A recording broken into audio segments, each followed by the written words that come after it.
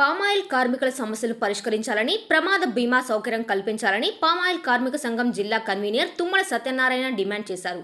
పశ్చిమ గోదావరి జిల్లా టి. నర్సాపురం మండలంలో కార్మికుల తమ సమస్యలను పరిష్కరించాలని నిరసన చేపట్టారు. జిల్లా కన్వీనర్ తుమ్మల సత్యనారాయణ మాట్లాడుతూ పామాయిల్ కార్మికులకు సంక్షేమ బోర్డు ఏర్పాటు చేసి మేకులు గొడ్డలు గేడాలు ఇవ్వాలని అన్నారు.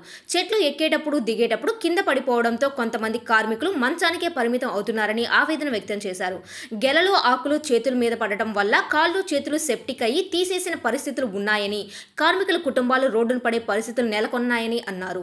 ప్రభుత్వం తక్షణమే పామాయిల్ కార్మికుల సంక్షేమ బోర్డు ఏర్పాటు చేసి ప్రమాద బీమా సౌకర్యం కల్పించాలని కోరారు. ఈ కార్యక్రమంలో బరగడ కృష్ణ పేట్ల వరుణ్ కార్మికులు పాల్గొన్నారు. గొడ్డలో మోకులు ఇవ్వాలి.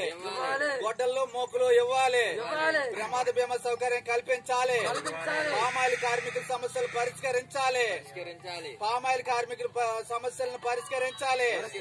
పామాయిల్ కార్మికుల సమస్యలను పరిష్కరించాలి. పామాయిల్ కార్మికుల సమస్యలను పరిష్కరించాలి. ప్రమాద బీమా సౌకర్యం కల్పించాలి. ప్రమాద బీమా సౌకర్యం కల్పించాలి. మోకులు గొడ్డలు ఇవ్వాలి. మోకులు గొడ్డలు ఇవ్వాలి. మోకులు గొడ్డలు ఇవ్వాలి. ప్రమాద బీమా సౌకర్యం కల్పించాలి.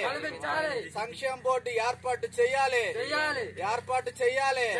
సంక్షేమ బోర్డు ఏర్పాటు చేయాలి. పామాయిల్ కార్మికులు సంక్షేమ బోర్డు ఏర్పాటు చేయాలి. పామాయిల్ కార్మికులు సంక్షేమ బోర్డు ఏర్పాటు చేయాలి. ప్రమాద బీమా సౌకర్యం కల్పించాలి.